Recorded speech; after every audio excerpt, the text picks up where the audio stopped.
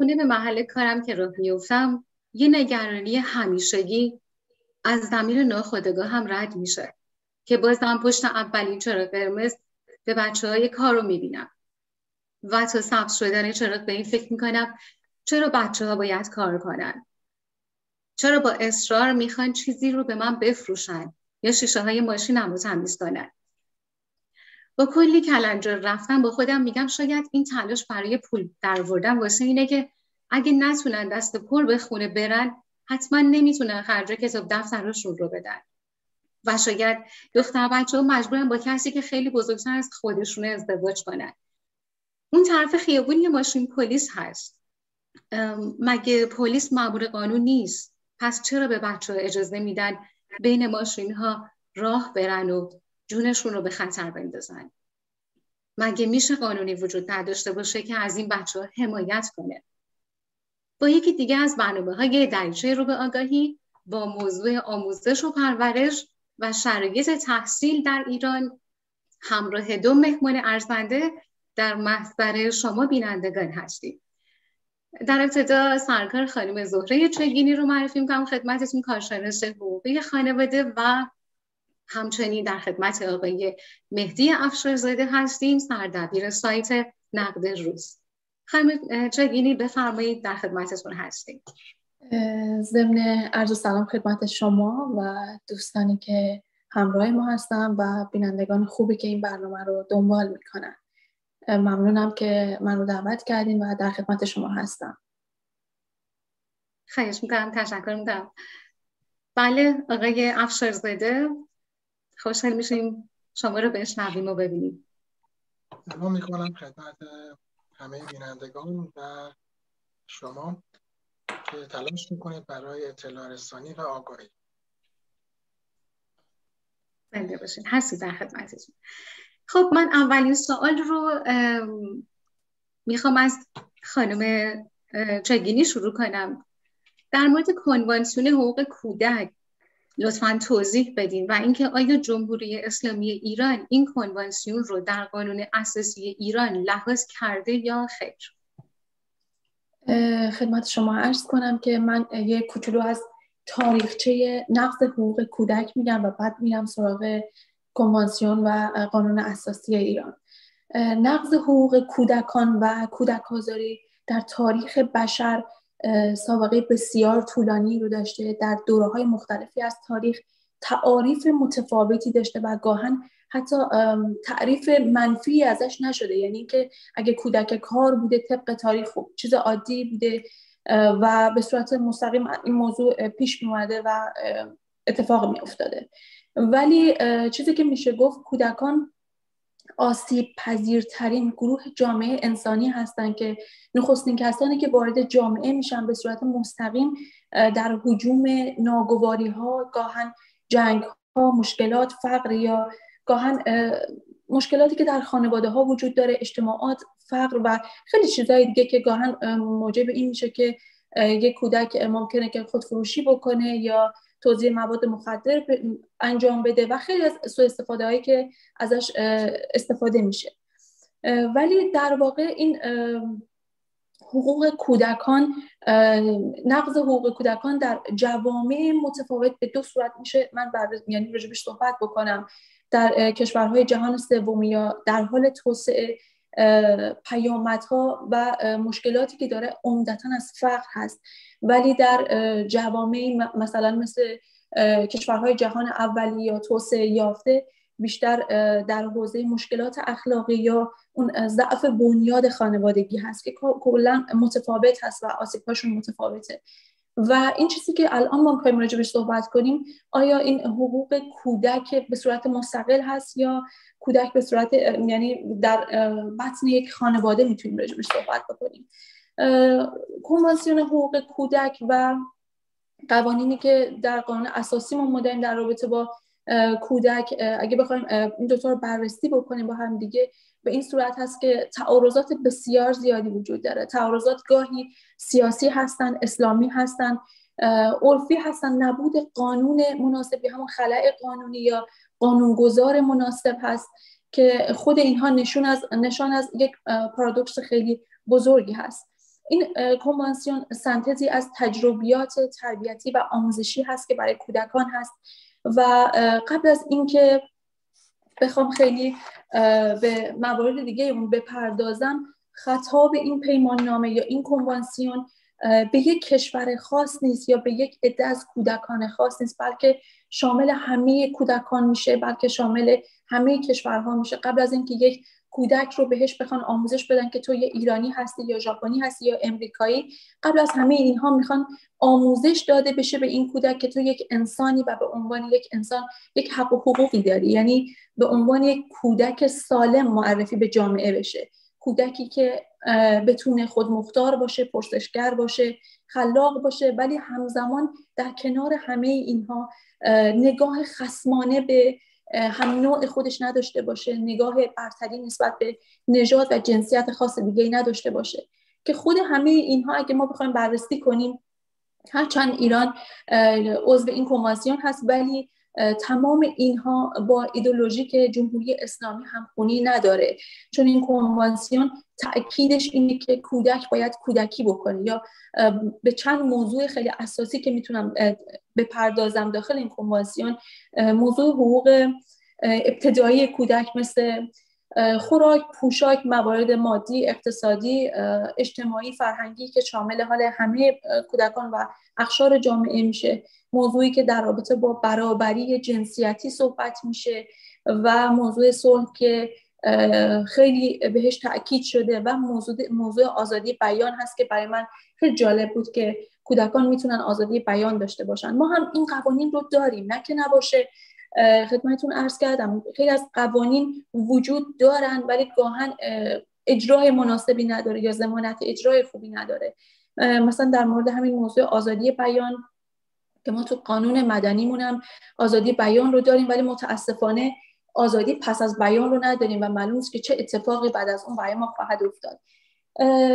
موضوعی که می‌تونم در رابطه باهاش بپردازم در رابطه با کودکان تو قانون اساسی به صورت خیلی کلی در اصل سوم بند سومش هست که در رابطه با آموزش پرورش آموزش و پرورش تربیت بدنی و یک سری از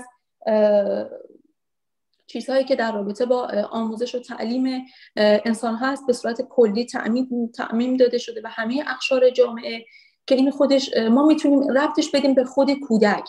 ولی کلمه مختص به کودک در قانون اساسی نیومده. مثلا ما در قانون اساسیمون یک بخشش هست در با اصل 21 بند دوم که در رابطه با مادران باردار هست که در رابطه با مادران بالاخص مادران باردار که در رابطه با کودکش صحبت شده. ولی بالاخص به حقوق تنهایی کودک پرداخته نشده در قانون اساسی. یا اصل چهارم در رابطه با یه سری از حقوق کلی صحبت شده و در نهایت این کلمه موازین اسلامی رو به اون اضافه کردم و این کار رو یکم پیچیده می‌کنه.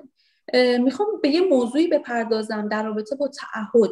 تعهدی که یک دولت یا حکومت می‌تونه داشته باشه نسبت به موضوعاتی که پیش میاد. مثلا تعهد نسبت به فقر.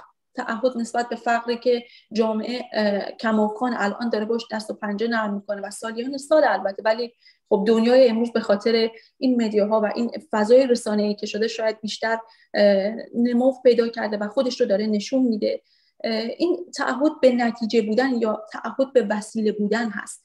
اگه یکم برمیگردم عقب اگه در چهل سال پیش یا سه سال پیش زمانی که رفراندوم گذاشتن برای قانون اساسی اگر می‌گفتن که ما اگه بخوایم حق بکنیم یا قانونی برای کودک برای زندگی خیلی بهتر براش متصور بشیم چهل سال یا شست سال طول می‌کشه آیا کسی به این قانون اساسی پاسخ آری می‌داد؟ قطعا اینجوری بود که یه همچین اتفاق نمیافتاد. یعنی چون زمان زمان زیادی است. یعنی وقتی که ما می‌خوایم مورد تغذیه رو حل بکنیم تعهد به نتیجه فوری است. این نیست که تعهد به نتیجه دولت باشه یا تعهد به وسیله باشه که دولت خب زحمتش رو کشید قانونش رو نوشت ولی زمانت اجرای بابت این موضوع نداره.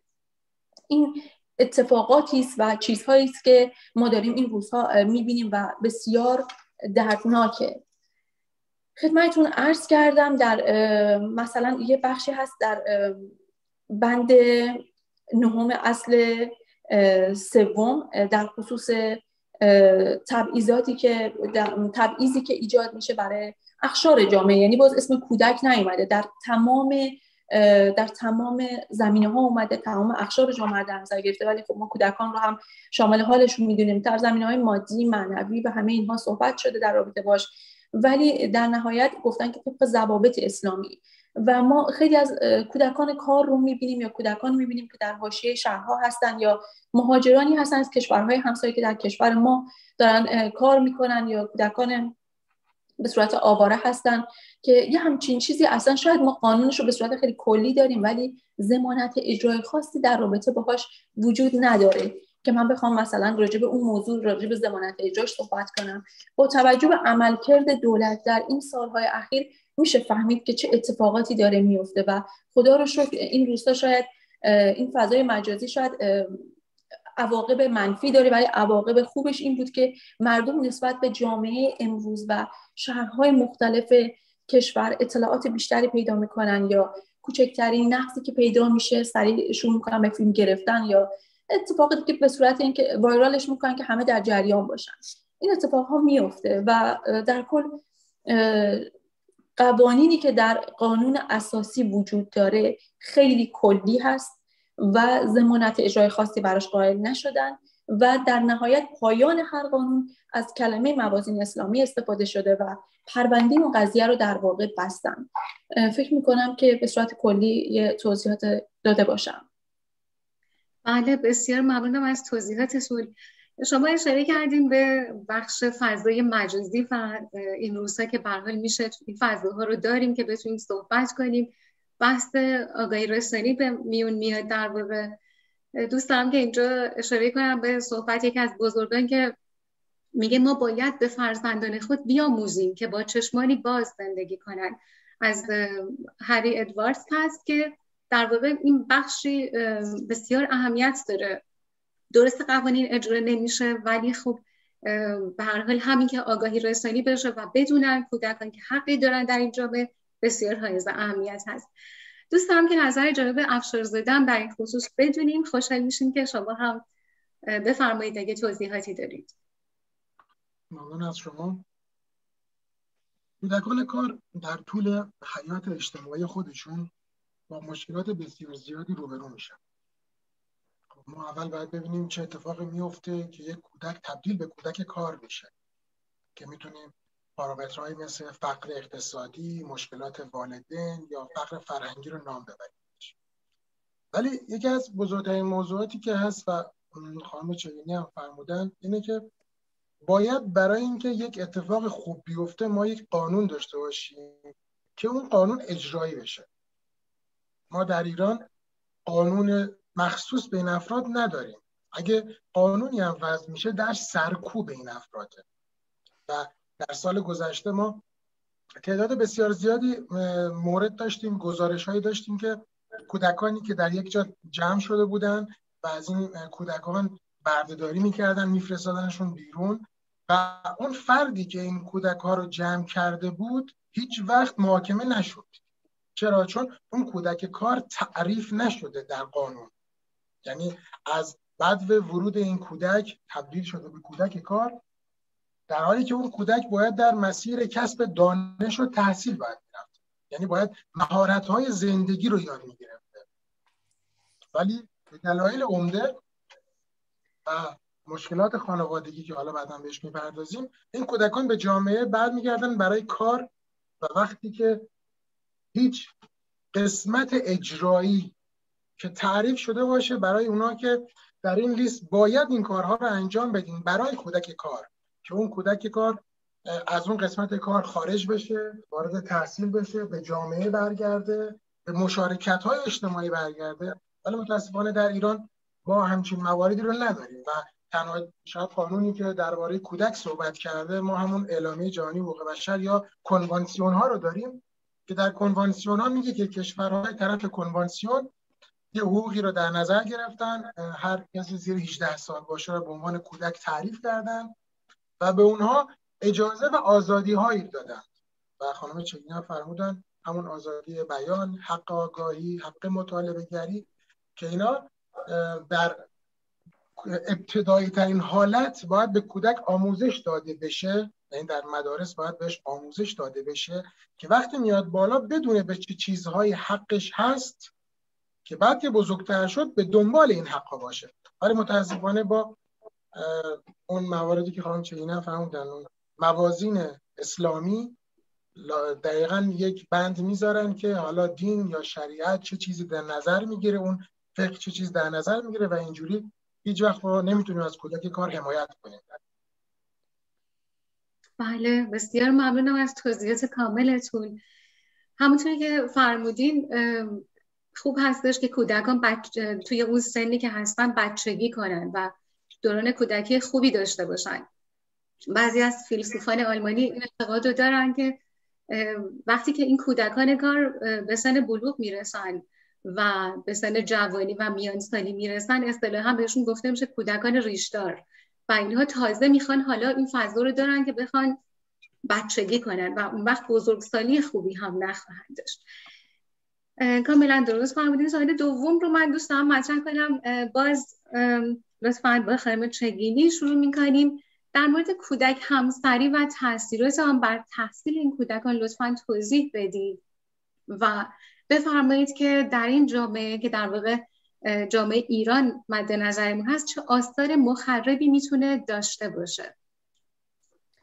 درسته. خانم کابینی عزیز. در رابطه با کودک همسری من اول یک قانونی رو, قانونی رو می‌خونم و بعد میریم یه خورده بستش بدیم این موضوع رو.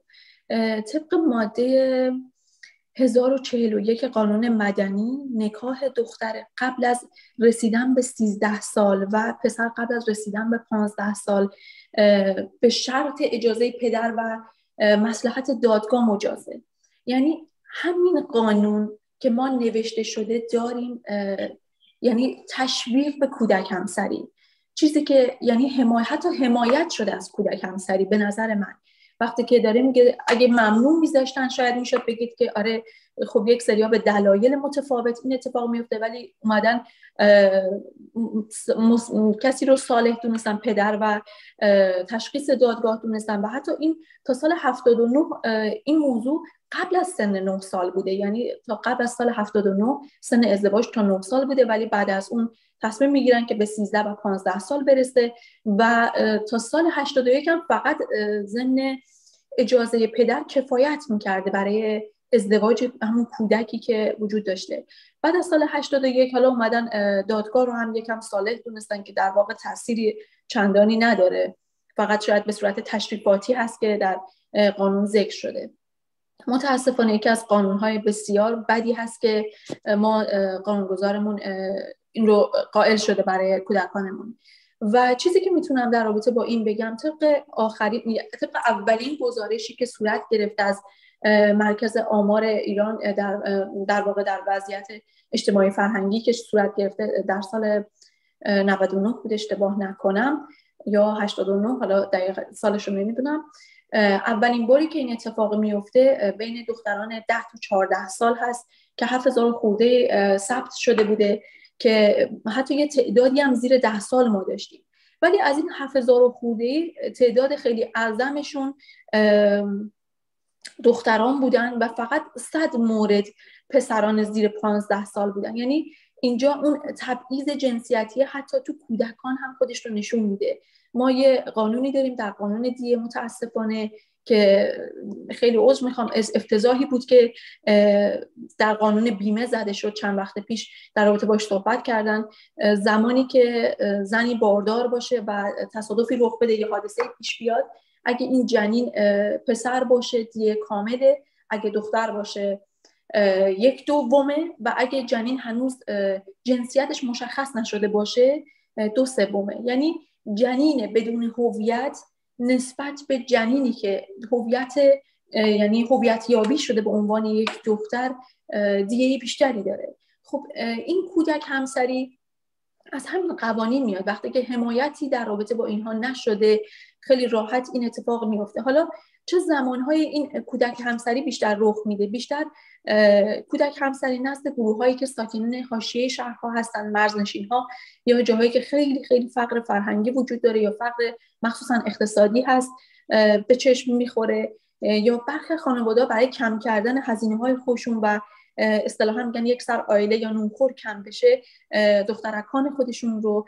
به حتی آدمایی که سن خیلی بالاتری دارن دختران خودشون رو به ازدواج اونها در میارن. چیزی که خبر... خبرگزاری ایسنا هم راجبش صحبت کرده حتی این اواخر مشاهده شده که خیلی از ازدواج های کودک همسری به خاطر وام های ازدواج بوده متاسفانه.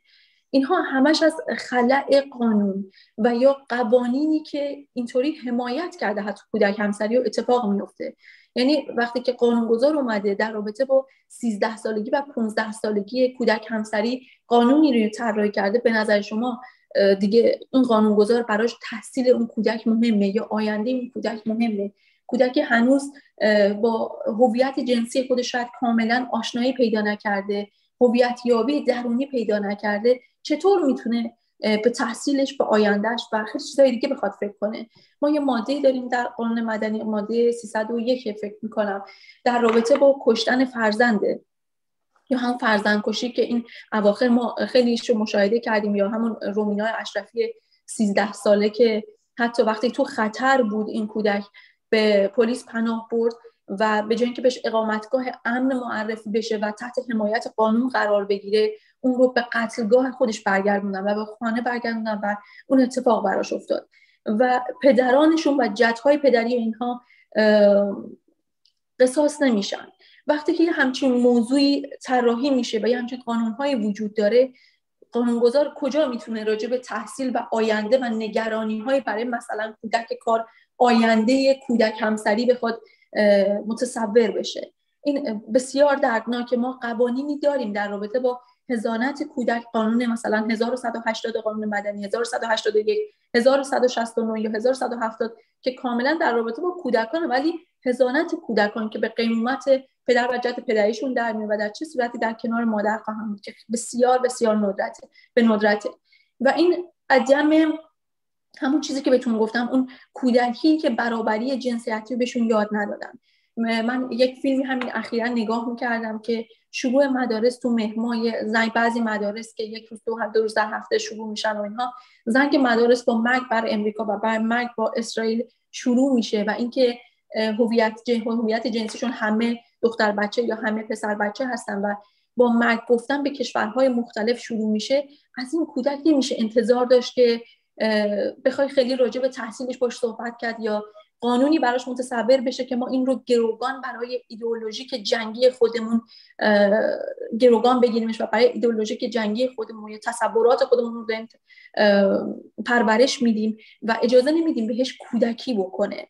وقتی که این کودک کودکی نمی‌کنه پس تحصیل اون و کلا آینده اون زیر سوال میره. فکر نمی کنم جمهوری اسلامی تدبیر خیلی خاصی برای آینده فرزند یا کودک داشته باشه. اگه امروز امروز ما جامعه ایران کمی جامعه تحصیل کرده ای داره و اینها اینها برای این چهل سال نیست.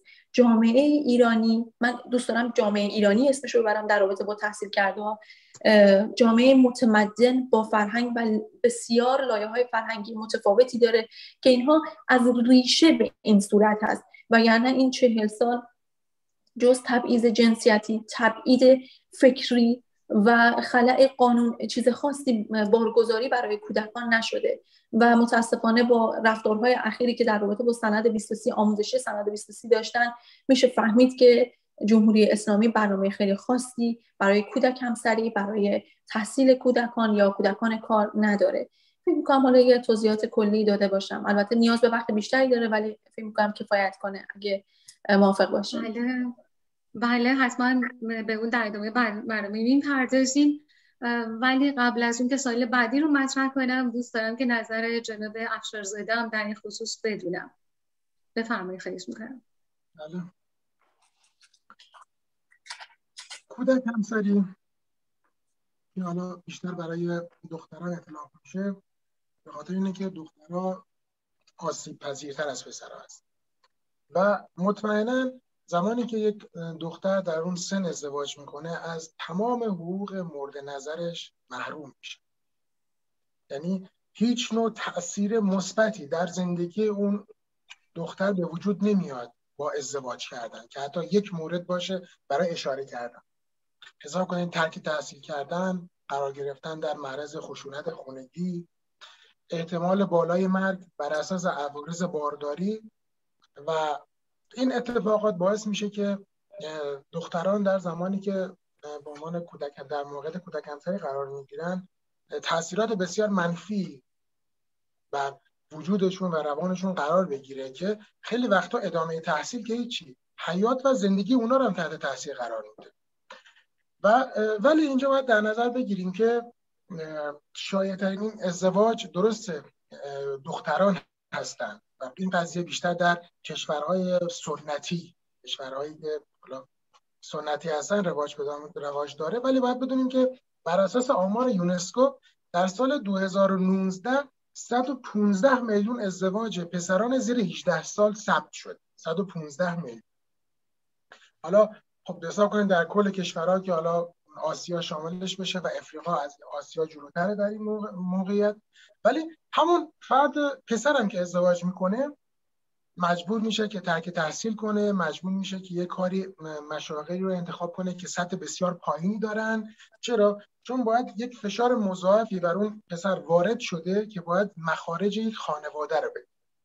و این عملا از اون پروسه بچگی خارج میشن. در حالی که چه پسر چه دختر حق دارن که زندگی کنن حق دارن تحصیل کنن حق دارن شاد باشن و زندگیشون لذت ببرن. و کودک همسری یکی از بزرگترین موانع برای این اتفاق. ما سال گذشته این شبکه اجتماعی که گفتیم درباره کمک کردن صحبت کردیم درباره شهرستان کازرون صحبت کردن که ازدواج هفت نه و ده ساله در اونها ثبت شد. شاید تا قبل اون زیاد ما تلنگر نخورده بودیم درباره کودک همسری ولی این اتفاق باعث شد که تلنگری خورده بشه و حتی تا مجلس هم بره که ساده از کنار این اتفاق نگذرن. ما شهر کازرون رو بخوایم در نظر بگیریم یک شهر کوچیک و یک شهر بسیار مذهبی با تعداد زیادی پادگان نظامی و بسیج. خب این افراد در اون شهر زندگی می‌کنن با یعنی با در اون شهر زندگی می‌کنن در همون شهر کار می‌کنن. و عملا از خدمات خوب و مفید بی بهره هستن و با وعده این که اگر ازدواج کنن و بچه دار بشن یک سری امتیازها رو می‌گیرن پس قبول کرده بودن. ولی موضوع اینه که اونا قبول نکردن. خانواده این افراد قبول کرده. یعنی خانواده اون افراد قبول می‌کنن که اینا با هم ازدواج کنن. حالا بهرهمندی حالا وام های بانکی یا بهرهمندی بزرگ های طایفه باعث میشه اونا زندگی خوبی داشته باشن. ولی در حالی که واقعیت اینه کودک همسری باعث میشه که اونا شور و نشاط جوانی رو از دست بدن در بود فردی خودشون.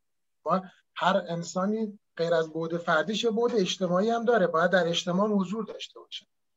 و وقتی که یک نفر در اون سن ازدواج می‌کنه و مشغول به کارها کارهایی میشه که حقوق مورد نظر رو دریافت می‌کنه به جامعه هم آسیب می‌زنه. جامعه هم بی بهره میشه.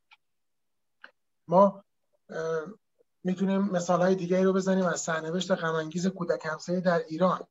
اصلا اون زمانی که هنوز این قانون 13 و 15 سال تصویب نشده بود می‌گفتن در سال 1399 آمارم داد خانم چگینی که 7000 ازدواج داشتیم. دختر فقط این آمار دختر هاست. 7000 که حالا بیایم تفکیک بکنیم ازدواج این زودهنگام و این آسیبای اجتماعی در مناطق محروم ایران بیشتر از مناطق حالا بگیم صنعتی یا شهرنشین که آمار دخترها دقیقا شاید ده یا 15 برابر پسرها باشه. و این پدیده منفی یعنی یه پدیده آسیب, زن... آسیب زننده بسیار بزرگه که فراگیری زندگی رو برای اونا سخت می‌کنه. چه برسه به تحصیل. یعنی این افراد رسما اون آموزش رسمی رو نمی‌تونن دریافت کنن به خاطر اینکه باید به عنوان یک عضوی از خانواده که پسر باشن باید کار کنن. اگه دختر باشن باید مادر باشن. چون در اسلام از دختر و زن به عنوان مادر نام میشه نه معلم حتی. فقط مادر نام میشه. و حالا با توجه به شرایط جدید کرونا که به وجود اومده که دیگه نمی‌تونن تحصیل کنن هم آمار کودک همسری بالا میره هم آمار عدم تحصیل این افراد. یعنی افراد در بعد اجتماعیشون هم نمی‌تونن همچین کاری رو انجام بدن. و طبق آمار مرکز اسناد ما میگه که کودک همسری دومین عامل ترک تحصیله و عامل اول فقر می‌دونن.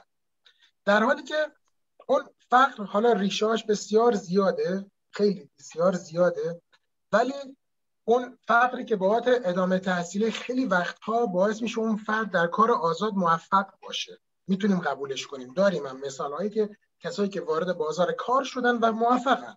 تحصیل نکردن. ولی در مورد کودک همسری ما نمونه برای مثالم نداریم که اون فرد خوشبخته. یعنی اون فرد نتونسته ادامه تحصیل بده. و شاید بزرگترین شهر ما خراسان شمالی باشه که, که کودک همسری باعث شده که تعداد خیلی بالایی در این دو سال اخیر نتونن چیز بکنن نتونن اونجا درس بخونن. و مطمئنا کودک همسری ارتباط بسیار مستقیمی با عدم آرامش و آسایش و ترک تحصیل کودکان. بله بسیار ممنونم از صحبتتون. اشاره کردیم به موضوع اقتصادی و همینطور موضوع فرهنگی که این مسئله رو بیشتر توی شهرهای کوچک یا شهرستانهای ایران داریم و موضوع فقر. بله به خوبی شما فرمودین. امروز جامعه می‌تونه آینه باشه از فقر و تنگ دستی که اون توسط کودکان کار نمایش داده میشه. یعنی هر چقدر یک جامعه بیشتر کودک کار داشته باشه به این معنی هست که اون کودک محروم شده از درس خوندن و به تب اگه دختر باشه بحث این هستش که باید فرزند آوری داشته باشه و اگه پسر هست باید نانآور باشه به دلیل مشکلات معیشتی. بسیار ممنونم. من سوال بعدی رو با خانم چگینی عزیز شروع می‌کنم. اینکه دوست دارم نظر ایشون رو در رابطه با معضل بزرگ جامعه فعلی که اشاره کردیم کودکان کار هستن بدونم و برنامه دولت جمهوری اسلامی ایران در این رابطه چی هست و آیا این برنامه ها تاثیر گذار بوده تا به امروز؟ ممنونم ازتون. پیرو دوست حرفای دوست عزیزمون جواب افشارزاده. من در رابطه بس با فقر و فقر مادی و فرهنگی صحبت می‌کنم چون ایشون مفصل توضیح دادن. من قانون رو میشکافم بریم سراغ قانون ببینیم چه قوانینی بار شده که بعد میریم سراغ جمهوری اسلامی. ارزم به حضور شما که در رابطه با بحثی که اینجا ایجاد میشه در رابطه با این کودکان کار یه بحث خیلی مهمی است به اسم سن که اومده این مسئله سن داخل قانون ما به چند دسته تقسیم شده. در صورت که حقوقدانان یا فعالین حقوق مدنی همه اونها سن کودک رو یا نوجوان رو زیر 18 سال دونسته ولی بحثی که اینجا مطرحه ما تو قانونمون سنهای مختلفی رو عنوان کردن برای کودکی یا عواقبی که جامعه بر اون بار می‌کنه. یعنی مثلا سن کودک در قانون مجازات های اسلامی متفاوته در قانون مدنی متفاوته. یا سن ازدواجشون متفاوته.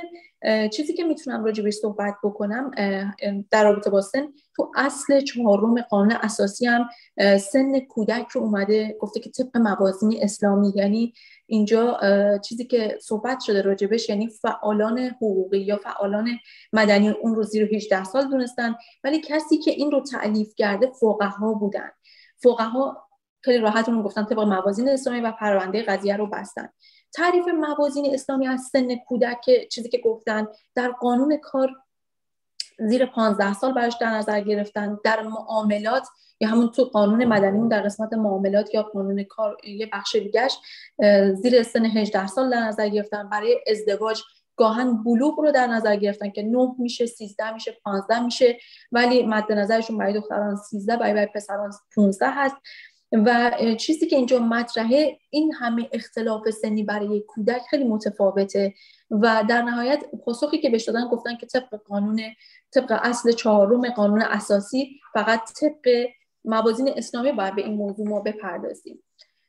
شما فرمودین که سوال این بود که آیا برنامه برای این موضوع کرده یا نه در رابطه با کودکان کار؟ کودکان کار ما توش توی ایران یه قانونی داریم برای حقوق کار و کارگری کودکان یا همون قانون حمایت از کودکان و نوجوانان که شامل نه ماده هست و به تصویب, به تصویب زمانی رسید که زیر نظر آقای کروبی بود. تو رئیس شورای اسلامی بودن. شامل نه تا ماده است که کلا یک صفحه نمیشه. اگه شما اون رو بررسی کنید و مطالعه کنید در 15 خط به صورت فوق العاده کلی صحبت شده و اصلا چیز خاصی در رابطه باش نگفتن و قانونگذار حمایت خیلی خاصی از این موضوع نکرده و در نتیجه وقتی قانونی مستدل و به صورت داکیومنتری وجود نداره. پس حمایتی از این موضوع نمیشه و چجوری بهتون بگم؟ وقتی قانونی ضمن این وجود نداره که حمایت سرسختانه ازش بکنه پس کودک کار وجود داره کودک همسر وجود داره چون قانون حمایتی ازش وجود نداره. اینقدر که به صورت کلی براش در نظر گرفته شده. در نهایت فقط اومدن تو مبحث پنجم از فصل سوم قانون کار در رابطه با کار کودک اختصاص داده شده. دو سه خط فقط صحبت شده. ماده 79 هستش. اومدن گفتن که به کار گماردن کودکان زیر 15 سال و 15 بین 18 سال در کارهای سخت و زیان آور ممنوع هست و در صورت دیدن این موضوع بار اول جریمه می‌کنن مجازات نقدی کار فرمان می‌کنن بار دوم مجددا مجازات نقدی و حبس هست و بار سوم پروانه اون کارشون یا کسبشون رو لغو می‌کنن.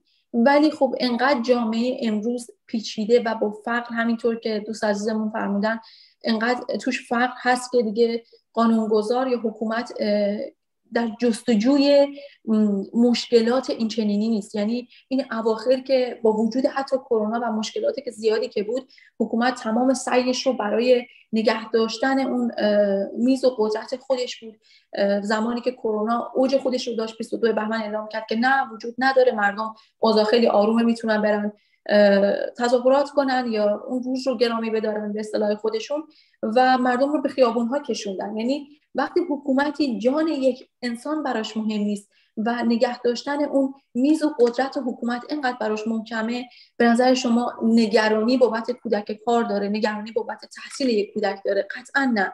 و این اواخر هم که اصلا موضوعی به اسم این کرونا و مشکلات اخیری که به شدت از همین موضوع کرونا که باعث شد که کلی ما آدم خونه نشین بشن و گریبانگیرشون بشه این فقر یا واژه فقیر نشینی گریبانگیرشون بشه اینها در تهیه و تدارک تعویز حکومت بود و ریاست جمهوری و کارهای خودشون بودن. یعنی انقدری روی موضوع خودشون که مانوف دادن نسبت به معضلات و مشکلات این مردم عکس عملی نشون ندادن. این فکر می‌کنم تعریفی باشه که من بتونم از این موضوع براتون داشته باشم. بله بسیار ممنونم از توضیحاتتون. شما اشاره کردید به ضعف در قانون به طور کلی و همینطور ضعف در اجرا که اگه بله. حتی قانونی هم اصلاح بشه و باز هم توی اجرا عملا هیچ اتفاقی نخواهد افتاد. دوست دارم که نظر جناب افشارزاده هم در این خصوص بدونم. بفرمایید خواهش می‌کنم. ما تو تعریف کودک کار گفتیم کودکی گفته میشه که به واسطه فقر مشکلات اقتصادی و مشکلات فرهنگی یا توسط بانکها مجبور به انجام کاری میشه که خیلی خارج از توانایی و قدرت اون فرد. ما قرار بود این دنیایی بسازیم که در اون انسانهای بزرگتر در کنار کودکان به راحتی زندگی کنن و ازش لذت ببرن. ولی در حالی که در حال حاضر ما کودکان کاری داریم که از اونها کارهای بسیار سخت می‌خوایم که در قبال اون کار ما یک پول خیلی کمی هم به این افراد میدیم. یه سوال پیش میاد که خب ما می‌دونیم این کودکان کار فقیر هستن و مشکل دارن. ما به عنوان یک فرد یک بخشی از این جامعه چجوری می‌تونیم به این کودک کار کمک کنیم؟ مثلا آیا از کودک کار باید خرید کنیم؟ آیا وقتی میاد ماشین ما رو تمیز می‌کنه باید اجازه بدیم که ماشین ما رو تمیز کنه؟ ببینید بسیاری از این کودکان کار تحت جبر معیشتی هستند یعنی تحت اون فقری که وجود داره. و یکی از بزرگترین ضرباتی که می‌تونن بخورن اون رفتارهای ترحم آمیز ماست. در قبال خدماتی که این کودکان میدن. خب می‌دونیم که تعداد این کودکان کار خب بسیار زیاده. ما جامعه آماری خودمون رو در نظر ولی در جالبه که در ایران ما هیچ جامعه آماری نداریم. چرا؟ چون این افراد به عنوان بخشی از جامعه مورد قبول قرار نگرفتن. یعنی به عنوان بخش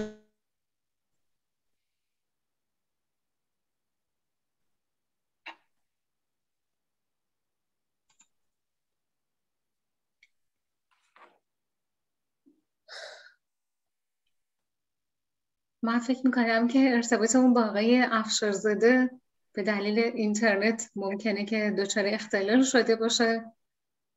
خب منتظر میمونیم تا جناب افشارزاده حل بشه مشکل اینترنتشون. ادامه میدم موضوع رو با سرکار خانم چگینی در رابطه با باز موضوع در واقع کودکان کار. اما این بار در واقع می‌خوام بدونم که کودکان کار در واقع چقدر اهمیت داره تحصیل این کودکان برای دولت جمهوری اسلامی و آیا اصلا به این موضوع رسیدگی شده؟ نظر شما در این باره چی هست؟ همونطور که خدمتتون عرض کردم ما توی قانون اساسیمون اصل سوم و بند سه یک چیز بسیار کلی گفته شده در رابطه با من. بند سه رو کامل براتون می‌خونم. نوشته شده آموزش و پرورش و تربیت بدنی رایگان برای همه در تمام سطوح و تحصیل و تمیم آموزش عالی. یعنی بسیار کلی این رو صحبت کرده در رابطه با, با, این موضوع و این رو ما بار می‌کنیم بر کودکان. یعنی که میگیم وقتی این موضوع راجبش صحبت شده پس شامل کودکان هم میشه. ولی متاسفانه این انقدر به صورت کلی هست و خیلی راجبش کلی صحبت شده و زمانت اجرایی صرف این موضوع وجود نداره. تحصیل این کودکان فکر نمی کنم از شاید در پایتخت کمی برای اینها یکم مواردی برایشون تعبیه شده باشه که بشه جلوگیری کرد از این موضوع اینها. یا بعضیاشون مثلا مکانهای گرمخانه هایی دارن که تو زمستون یه سری آدم هایی که آواره هستن یا کودکان کار هستن بتونن برن جایی رو برای اسکان داشته باشن. ولی تو شهرستان های امکان وجود نداره. و در رابطه با تحصیلشون هم اصلا یه همچین موضوعی مطرح نیست. یعنی شاید یکم فعالین حقوق بشر یا فعالان حقوق مدنی در رابطه با اینها دست و پاهایی می‌زنن و مقالاتی نوشته میشه با اینها ولی در رابطه با اون هیچ قانونی وجود نداره که اینها رو حمایت درست بکنه. مثالی که می‌تونم بزنم مقایسه ای بکنم در رابطه با همین موضوع. مثلا ما توی کشور آلمان از ساعت 6 به بعد مثلا یه سری از ارگان ها تعطیل میشه یا 8 به بعد ساعت خاموشی و استراحت هست. این یعنی انقدر این موضوع بیان شده و به صورت قانون در اومده و کسی که سرصدا می‌کنه یا ناهنجاری رو ایجاد می‌کنه جریمه میشه و با, با اون آدم برخورد میشه. یا توی بحث تفکیک زباله هاشون به همین صورت. عادت شده این موضوع. یعنی قوانین انقدر مفصل هست به صورت یک هنجار در اومده براشون.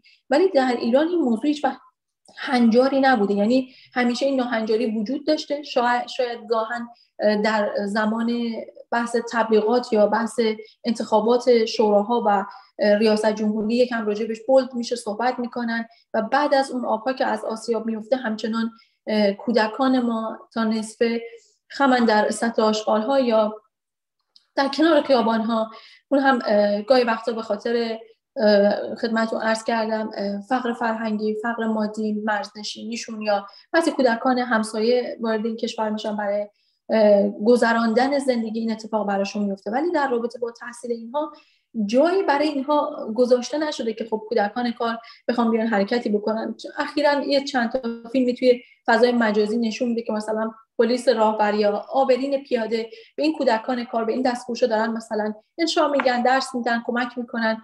و این به صورت خیلی خودجوش و مردم برای مردم هست. ولی دولت برای اینها اصلا من چیز خیلی خاصی ندیدم. یعنی قوانینم که بررسی کردم شاید خیلی به صورت کلی و عمومی به اونها اشاره شده و حمایت و زمانت اجرا این خیلی مهمه زمانت اجرایی در رابطه باش وجود نداره.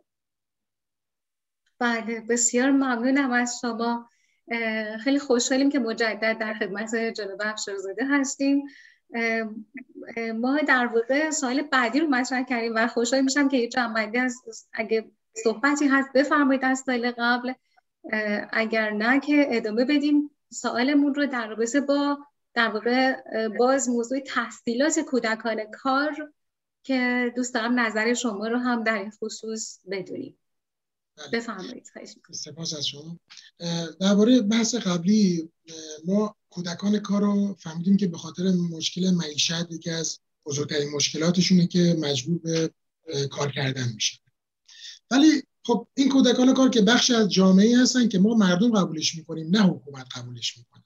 پس ما بهتره که کودکان رو بیشتر بشناسیم کودکان کار رو بیشتر بشناسیم. یکی از بزرگترین مشکلاتی که کودکان کار دارن مشکل سوء تغذیه است. که سوء تغذیه کودکان مستقیما روی رشد ذهنی و جسمی این افراد تاثیر می‌ذاره. یعنی شما هیچ وقت کودک کاری رو نمی‌بینید که تو حال باشه سرحال باشه با نشاط باشه بخنده حتی. حتی اونایی که مثلا تو شهرهای ما بودن و مثلا مثلا موزیک می‌زدن یا مثلا میرقصیدن هم شما نگاش می‌کردی کاملا میفهمیدی که کاملا به اجبار داره این کار رو انجام میده. و این باعث اون آسیب های اجتماعی میشه. آسیب های اجتماعی امروز حاصل بیتوجهی به کودکانه. حالا حساب کنید کودکی که در خانواده زندگی می‌کنه. حالا اون کودک کاری که داره در جامعه زندگی می‌کنه داره در جامعه کار می‌کنه چون کودک کار که فقط اونایی نیستن که سر چهاره ها کار می‌کنن. ما در باربری ها داریم نمی‌دونم تو نونوایی کار می‌کنن نمی‌دونم دامداری کار می‌کنن و تمام اینها باعث میشن که اون کودک کار هیچ وقت نتونه یک بخشی از جامعه باشه. یعنی نه احترام مورد نظر رو به دست میاره که این ضعف حکومته. من دولت کار ندارم. چرا؟ چون دولت الان این چهار سال میشه هشت سال دوباره دولت بعدی میاد. اون حکومت اون حکومت که باید به همه افراد بدون توجه به جنسیت نمی‌دونم مذهب و سایر موارد گرایش به سایر موارد به اینا احترام بذاره اون باید این تصمیم رو بگیره که اون نیز متاسفانه نمی‌گیره و کودکان کار الان یه جور در ایران استثمار میشن. و درباره اینکه دولت براشون چه کار انجام میده من فقط می‌تونم یه مثال بزنم. چون ما شهرمون بوشهر بود و بسیار زیاد از سایر شهرها میومدن اونجا چون شهر بندری بودیم و همیشه کار داشت. فقط می‌تونم بگم شهرداری بنر زد که ما کودکان کار رو قرار جمع کنیم.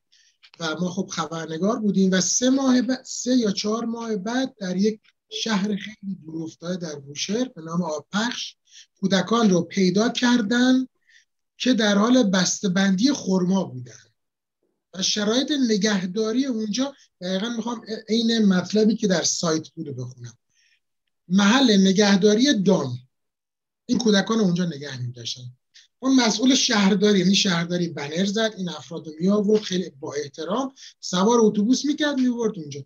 اون مسئولی که در استان در شهر بوشهر این کار انجام داد الان مسئول عقیدتی تربیت بدنی استان بوشهر. یعنی هیچ برخوردی که نشد هیچی. تازه ارتقا شغلی هم گرفت. اون موقع یه عضو ساده رها این کاریه که حکومت انجام میده انتظاری که ازش میشه داشت. بله من جواب سوال خودم رو گرفتم. متاسفانه اصلا یه چیز غیر قابل باور هست. اصلا فکر می‌کنم هیچ کشوری یا میشه گفت کمتر کشوری در دنیا وجود داشته باشه که مسئولی به خاطر چنین معزنی به این فجری بخواد حتی ارتقا هم ارتقا استمت هم بگیره. بسیار ممنونم از شما. دوست دارم که جناب افشارزاده در خصوص این هم لطفا یه توضیح اجمالی لطفا بفرمایید برای ما که راهکار دولت برای تحصیل کلا چی هست؟ یعنی آیا شما فکر می‌کنید که دولت آینده که الان شروع به کار کرده راهکار خاصی داره برای کودکان کار؟ برنامه داره در دولت؟ ببینید هر دولت که میاد سر کار معمولا یک سری شعارها میده و ما اینو بسیار زیاد دیدیم. نه در ایران در همه جا.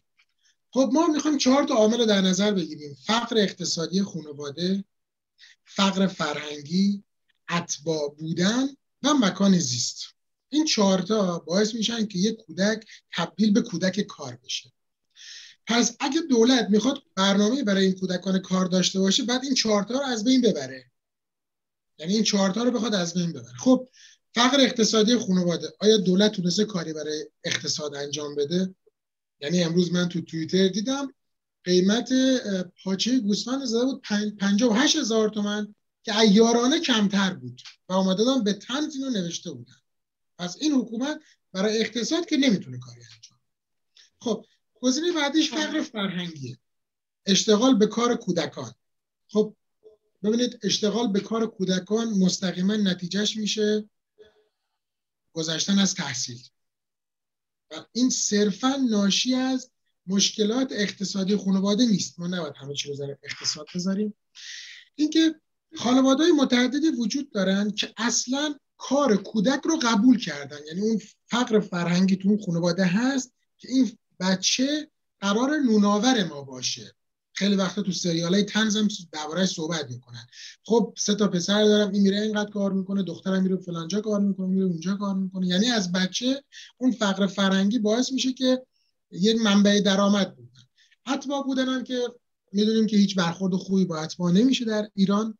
مخصوصا مردمی که از افغانستان مثلا تو شهر ما افغانستان میومد پاکستانی میومد و فعال هندوستان میومد که کار بکنه هیچ برخورد خوبی نمیشه.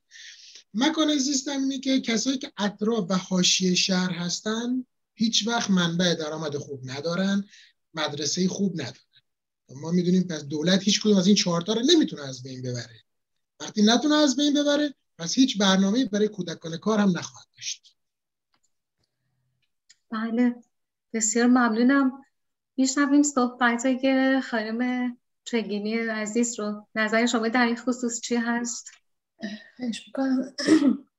در رابطه با راهکار دولت جمهوری اسلامی برای تحصیل چیزی که می‌تونم بگم هر حکومت یا دولت و مخصوصا دولتی که روی کار میاد اون چه که خط مشیش هست رو به نمایش در میاره. دولتی که خودش الان ما این چند روز اخیر متوجه شدیم که چجوری سخنرانی می‌کنن چجوری جنبندی می‌کنن وزیر امور خارجهشون به چه صورته. تحصیلات رو باید از کسی انتظار داشت که خودش تحصیل کرده باشه. وقتی کسی که بهش میزی دادن مذهبی دادن و قدرتی دادن متاسفانه خودش تحصیلات چندانی نداره مسلما توی این زمینه خیلی نمی‌تونه با ایده درست یا با یک قانون درست با یک روش درست اقدام بکنه. یک ضرب مسئله از شاید اصلا درست نباشه گفتنش. از انسان انسان عمل میاد و از اسب از از این حکومت چیز خاصی فکر آبی گرم نخواهد شد. ما انتظار خاصی از این حکومت نداریم. ولی در کل دولت در قالب کلی خودش مسئول هست در مقابل مردم و باید خدمات خیلی ویژه‌ای رو برای مردم و کسانی که بهش رأی دادن حالا چه به درست چه به غلط یا آماری که بوده که خودشون اعلام کردن باید حمایت بکنه. ولی متاسفانه حمایت درست نمی‌کنه. بقیه چیزهایی هم که می‌شد راجع به صحبت کرد جناب افشارزاده خیلی مفصل در رابطه با این موضوع صحبت کردن. بله بسیار ممنونم. همونطوری که شما هم فرمودین بحث تحصیل بسیار اهمیت داره برای تمام کودکان ایران زمین مخصوصا و الان معزلی به نام کودکان کار و کودک همسری وجود داره که اونا رو از تحصیل باز نگه میداره و در واقع بزرگی به نام ملاله یوسف زای میگه که به یاد داشته باشیم یک کتاب یک قلم یک کودک و یک معلم می‌تواند جهان را تغییر دهد. این مسئله بسیار حائز اهمیت هست. بسیار ممنونم. من دوست دارم که نظر جناب افشارزادن رو بدونم. در خصوص نقش والدین در مورد تحصیل کودکان چی می‌تونه باشه و آیا اساسا والدین از حقوق کودکانشون آگاهی لازم رو دارند؟ یکی از دقدقه های همیشگی والدین تحصیل فرزندانشون و خبر خوب اینه که والدینی که در حال حاضر وجود دارن نسبت به نسلهای گذشته خب اطلاعات بسیار بیشتری دارن. یعنی ما الان والدینی رو می‌بینیم که بسیار شیفته هستن که اطلاعات کسب کنن که چجوری می‌تونن فرزندشون رو بیشتر کمک کنن و یاری برسونن. ولی این ضرورت تشریح یک شیوه صحیح رو نیازمنده. یعنی یک راهکاری که باعث بشه که والدین نقش آفرینی بیشتری در تحصیل فرزندانشون داشته باشه یعنی اون انگیزش و اون انگیزه مورد نیاز رو از مدرسه تزریق کنن. و ما می‌دونیم که خود اولیا انجمن اولیا در مدارس وجود داره در تمام مقاطع که اینا مشارکت می‌کنن در زمینه تحصیل فرزندان خودشون. یعنی اینا میرن در جلسه و با, با معلمین و با مشاورین مستقیما صحبت می‌کنن. و دیگه آموزش ها رو می‌بینن. ولی از اون طرف هم هنوز اولیایی داریم که در اثر بی از روش های حمایت از فرزندانشون یک حالت انفعالی دارن که اون حالت انفعالی باعث میشه که اون فرد نه از تحصیل از درس خوندن زده بشه کلا از پدر و مادر دیگه خوشش نیاد یا بخواد به اونا صحبت کنه. در حالی که پدر و مادر بازوهای توانمند یک معلم در خونه هستند. اینو ما می‌تونیم داشته باشیم چون پدر خودم معلم بوده. واقعا می‌تونن این اینو داشته باشن. برای همین ما می‌تونیم این موضوع رو تو چند مورد چند قسمت دستبندی کنیم. یکی ارتباط والدین با مدرسه. شاید اون زمان ما علاقه نداشتیم پدر مادرمون بیان مدرسه و با معلمامون صحبت کنن. ولی تو یک روش صحیح اون رفت آمد والدین به مدرسه و صحبت با کادر آموزشی مطمئنا در روند پیشرفت یک فرزند بسیار چشمگیره. و باعث میشه که اون مشکلاتی که ما پدر مادر متوجه نشدن و در مدرسه وجود داره اون حل بشه. موضوع بعدی می‌تونه مشارکت والدین در انجام تکالیف باشه. این معنی نیست که والدین مشقهای بچه ها رو بنویسن. در این که یک رابطه مطلوبی باشه بین فرزند و والدین. یعنی فرزند احساس احساس کنه که مورد توجه والدینش قرار شد قرار گرفته و یک حس طلاقی به دست بیاد. و این می‌تونه خیلی تاثیر داشته باشه از نقش والدین. و یه موضوع که خیلی بده آرزوی تحصیلی والدینه یعنی پدر و مادر نباید انتظارهای بیش از حد از فرزندشون داشته باشن چون باعث میشه که اون فرزند بسیار لطمه بخوره. مثلا شما تا راهنمایی که هستی از شما دیپلم علوم تجربی یا ریاضی فیزیک می‌خوان دانشگاه حتما باید پسر فلانی این قبول شده پس اونم باید اینو قبول بشه. باید بدونیم که این تصمیمات باعث میشه که اون فرزند دنبال رویاهاش نره و پدر و مادر نباید آرزوهای دست نیافتنی خودشون رو در بچه هاشون جستجو کنن. چون وقتی این کار انجام میدن اونا تشویق که نمیشن هیچی تازه دقیقا در مسیر برعکس قرار می‌گیرن. موضوع بعدی می‌تونه تشویق کلامی باشه. یعنی مثل تحسین کردن. مثل چون تحسین کردن یک بازخورد بسیار مناسبی داره. چه اون فرزند نتیجه مورد نظر رو بگیره چه نگیره. ما می‌تونن پدر مادرها اینو داشته باشن. و شاید آخرین موردی که به ذهن من بیاد اینه که تشویق های مادی و قابل انتظار رو حذف کنن. چون یه زمان هست میگم چون پدر خودم معلم بود همین اینا رو من تست کردن مثلا اینکه اگه این کار رو انجام بدی اگه این نمره رو بگیری مثلا من به تو اینقدر پول میدم. یا زمان دبیرستان ما دستگاه کاست بود. اگه شما مثلا دیپلم بگیری من برای تو اینو می‌خرم. شاید این باعث انگیزه بشه که اون فرزند اون نمره مورد نظر رو بگیره ولی به تحصیل علاقه من نمیشه. و باید بدونیم که یکی از وظایف والدین اینه که فرزند رو به درس خوندن علاقه مند کنن. نه اون رو مادی بار بیارن. یعنی بشه یه کسب و کار. این کار این درس رو بخون این پول رو بگیر. خب این باعث میشه که اون فرزند به اون نتیجه مورد نظر از تحصیل نرسه. بله بسیار ممنونم. در سال گذشته که در واقع روبرو شدیم با بیماری کرونا والدین خب مطمئنا بسیار نقش مهمی داشتن در این دوران و مطمئنا که منظور شما هم جناب افشارزاده این هستش که نظارت داشته باشن بر امور تحصیلی فرزندانشون. بسیار عالی. من خیلی خوشحال میشم نظر سرکار خانم چگینی رو هم در این خصوص بدونیم. بفرمایید خواهش می‌کنم. ممنونم از شما. دوست خوبمون خیلی کامل. جناب افشارزاده کامل توضیح دادن. من یکم برمیگردم عقبتر. نقش در رابطه با نقش والدین. ما یک درسی رو در گذشته داشتیم به اسم تنظیم خانواده. یعنی اینکه توضیح می‌دادن یه در یک تایمی از زمانی که روش های جلوگیری چیه نمی‌دونم فلان چیه چرا جمعیت کنترل بشه بدون برنامه‌ریزی نباشه. ولی در رابطه با سیاست هایی که رخ داد و قوانینی که اضافه شد این درس حذف شد و تبدیل به رشد جمعیت شد. یعنی اینکه تشویق به فرزند داوری بدون در نظر گرفتن از در نظر گرفتن و بدون تمهیداتی برای آینده این کودکان. یعنی پدر و مادری که در فقر به سر می‌برن فرزندی که داشته باشن ناخداگاه خیلی سخته که اون رو تشویق کنن به تحصیل کردن به آینده بهتر چون کودک دقدق مند میشه برای کتاب دفتر مداد رنگی برای وسایلی که شاید روزانه به صورت خیلی عادی همه دارن و اون دقدقش میشه اینها و تحصیل شاید براش یه دونه تابو بشه حتی. اول از همه باید این موضوع براشون جا بیفته که خب زمانی که امکان این وجود نداره که یک فرزند یک کودک در شرایط بسیار عادی بتونه تحصیلش رو داشته باشه خب چه کاری که اصلا فرزند داشته باشیم؟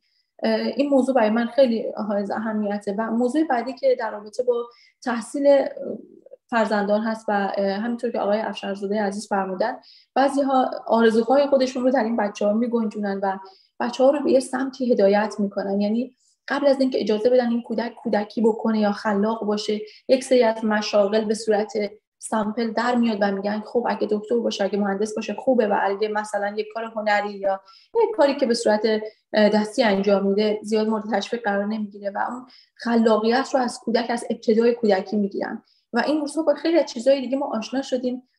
کودکان بلاگر یعنی طرف از بعد به تولد وقتی به دنیا میاد یک صفحه شخصی توی اینستاگرام یا توی فیسبوک داره و ازش به عنوان یک دونه بلاگر تبلیغاتی استفاده می‌کنن و کودک رو بازیچه افکار خودشون قرار میدن و ناخداگاه اون کودک در مسیری بزرگ میشه و در مسیری رشد می‌کنه که انگار حق انتخاب دیگری نداره. حالا در رابطه با تحصیلش همینطور در رابطه با انتخاب های بعدیش همینطور. اینکه مادران یا پدران امروز به نظر من آگاهیشون نسبت به این باشه که کودک در زمان کودکیش حتما کودکی بکنه و تا 18 سالگی اجازه بدن رشد بکنه یعنی در فضای آزادانه فکر بکنه انتخاب بکنه. همینطور که تو کنوانسیون هم خیلی بهش اشاره شده و مفصل توضیح داده که باید بهش آزادی بیان داد آزادی انتخاب داد در همه زمینه‌ها. مگر در اینکه حالا آبروی شخص یا شأن کسی زیر سوال داره در حالت آزادی بچه به سر ببره. این محدودیت ها حذف بشه. فقط اینها در صورتی میشه حذف بشه که اون پدر و مادر ابتداعا از فقر مادی آزار نبینن آسیب در تنگنا نباشن. که بشه در رابطه در پله های بالاتر در رابطه با این صحبت کرد. پدر مادری که در فقر هستن مسلما تحصیلات چندانی نمیشه برای این کودک متصور شد. در موارد نادر میشه این موضوع رو دید ولی در نهایت فرزند فرزند سالمی نخواهد شد. فرزند که همیشه در تنگنای اقتصادی هست. در استرس هایی که در خانواده وجود داره برای مثلا لباس مدرسه کیف یا خیلی چیزهای دیگه از لحاظ روانی و بود عاطفی یا اجتماعی خودش نمود خوبی به عنوان یک کودک سالم نداره. ظاهرا یک انسانه ولی در ظاهرا یک کودکه ولی در باطن یک بچه که شاید از سن خودش خیلی بیشتر می‌دونه و آسیب های خیلی بیشتری دیده. فکر می‌کنم این نظر منه البته. می‌تونه که کاملا درست نباشه. ولی دوست خوبم جناب آقای افشارزاده خیلی کامل توضیح دادم بسیار ممنونم. به نکات بسیار مهمی شما اشاره فرمودین و که از مدرسه فرمودین که نوع درس عوض شده و این بسیار اهمیت داره. چرا اینکه ما از مدرسه خیلی چیزها رو یاد می‌گیریم و این وقتی که در واقع فرهنگ سازی داره میشه بدون امکانات اقتصادی بدون رشد فرهنگی بدون آگاهی رسانی فقط صرفا فرزند آوری تاکید میشه خب مطمئنا عواقبی هم خواهد داشت. ممنونم از شما و اما در این لحظه دوست دارم که در مورد وضعیت تحصیل کودکان روستایی صحبت کنیم. مخصوصا که برحال همونطوری که همه اطلاع داریم در روستاها امکانات شهر مطمئنا وجود نداره. مشکل کمبود معلم وجود داره و دوست دارم که بدونم نظر نقطه نظر شما دوستان در این خصوص چی هست. میشنویم شما رو جناب افشارزاده بفرمایید. وقتی درباره مدارس روستایی صحبت می‌کنیم من یاد یه عکس میفتم یه عکس بود که تو فضای مجازی حالا یادم نیست کجا دیدم که یه کودک روی یک زیرانداز در طبیعت نشسته بودن. و معلم حتی تخت سیاه هم نداشت. روبروشون وایساده بود کتاب باز کرده بود و داشت به اونا تدریس این سوال تو ذهن من پیش اومد که چرا مثلا اینا باید اینجوری باشن و مجبورشیم تحقیق کنیم دربارهشون و به یه چیزی رسیدیم به نام عدالت آموزشی. حالا یک مبحث خیلی بزرگه. و اینکه آیا اون تون عدالت آموزشی جایگاه این کودکان کجاست؟ ببینید زندگی اشایر اشایر دارن به حیات خودشون ادامه میدن و کودکانی که در این اشایر به دنیا دنیا میان جزوی از جامعه و جزوی از ایران هستن. حساب کنید هفت و یک دهم درصد ما اشایر رو داریم در ایران و روستاهای دیگه هم وجود دارن 31 درصد که اونجا هم کودکان وجود دارن. حالا حساب کنید در اون روستا اون امکانات تحت هیچ شرایطی وجود نداره. یعنی اون پسر و دختر تحت هیچ شرایطی نمی‌تونن امکان برابری و عدالت آموزشی رو داشته باشن. اون کسی که می‌خواد در روستا درس بخونه و دیپلم بگیره اون کسی که در شهری مثل تهران اصفهان شیراز می‌خواد دیپلم بگیره.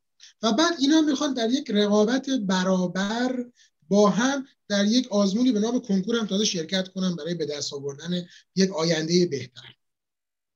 خب ما می‌دونیم با توجه به شرایط کرونایی که الان وجود داشت داره خب اومدن یک راهکار دادن به عنوان یک, یک برنامه شاد که آقا از اینجا ما تدریس رو انجام خب می‌دونیم که تو روستاها حالا اینترنت هم وجود داشته باشه. چند درصد افراد روستایی می‌تونن برای بچه هاشون تبلیغ یا گوشی هوشمند بگیرن؟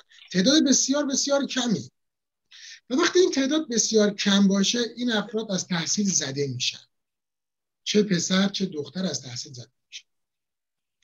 و حالا اونایی که دختر هستن و در روستاها زندگی می‌کنن وقتی تحصیل نکنن مجبورن ازدواج کنن.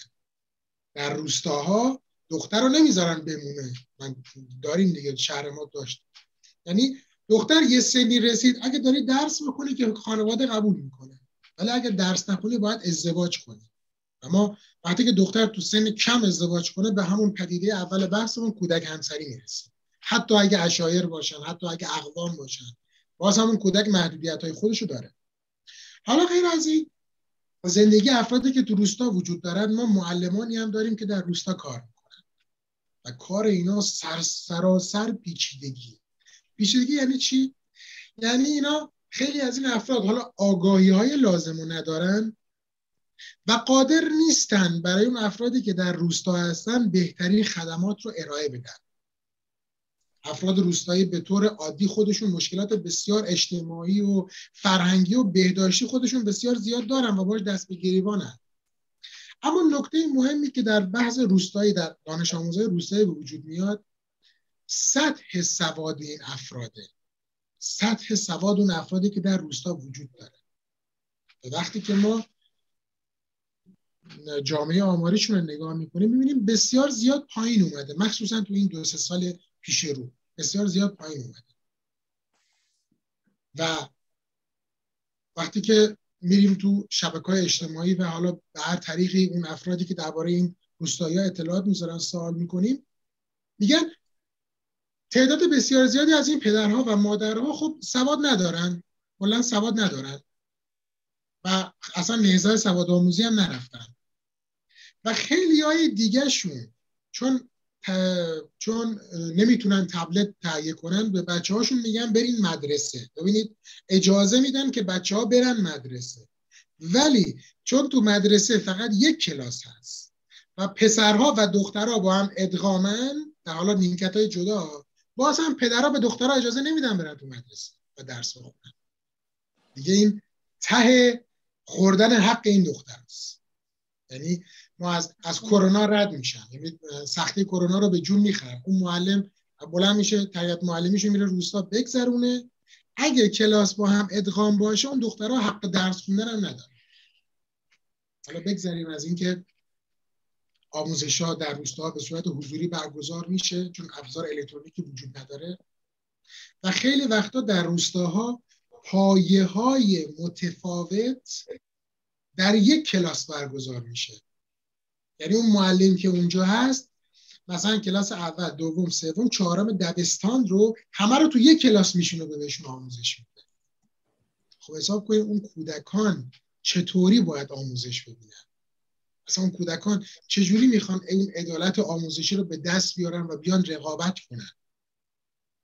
و ما می‌دونیم که روستایی ها خیلی هاشون از طبقه کارگر طبقه کارگر تمام وقت در حال کار کار کردنه. با توجه به این مواردی که من اشاره کردم مطمئنا روستایی ها کودکان روستایی مطمئنا محروم ترین بخش هستن برای تحصیل که حالا کرونا نباشه معلم خوبم نباشه باز والدین هستن که اجازه تحصیل رو به این افراد میدن. بله درست میفرمایید. کاملا اشاره کردیم به آگاهی نداشتن والدین. همونطوری که هممون این موضوع رو می‌دونیم. خب به نبود امکانات. یه بخشی از قضیه است همونطوری که شما به خوبی به اون اشاره فرمودید. و دوم اینکه استاندارد نبودن فضای آموزشی توی روستاها اینا هم باز نکته هستش که بسیار حائز اهمیت هست. من دوست دارم که نظر خانم چگینی عزیز رو هم بشنویم. در خصوص بفرمایید. خواهش می‌کنم. در رابطه با وضعیت تحصیلی کودکان روستایی آقای افشارزاده خیلی کامل توضیح دادم ولی من خدمتتون ارز کنم هر روستا با توجه به نزدیکیش به شهر یک سری امکاناتی داره. روستاهایی هستن که این چند وقت اخیر ما داشتیم می‌دیدیم توی سیستان بلوچستان توی خوزستان و خیلی روستاهای دیگه سمت خراسان. اینها هنوز دغدغه آب دارن. یعنی وقتی که دغدغه آب آب آشامیدنی سالم داره. دغدغه تغذیه داره دغدغه بیمارستان داره. یعنی واقعا مطمئنا توی این روستا درگیری یا فکرشون یا چیزی که موزلی که براشون از لحاظ ذهنی باشه قطعا تحصیل نیست. یعنی انسانی که گرسنه است انسانی که تشنه است من فکر نمی کنم که دغدغش دغدغه تحصیل باشه.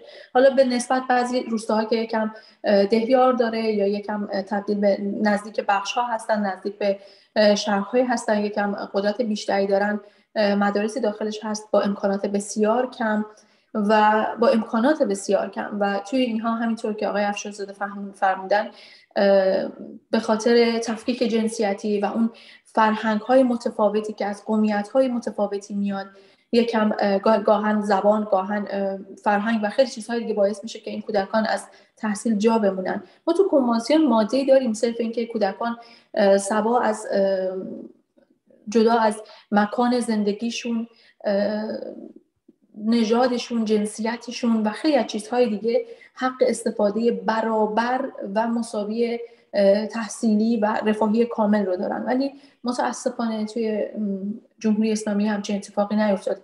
و این انقلابی که رخ داد گاهی وقتا فکر می‌کنم انقلاب فرهنگی نبود انقلاب بی فرهنگی یا نافرهنگی بود.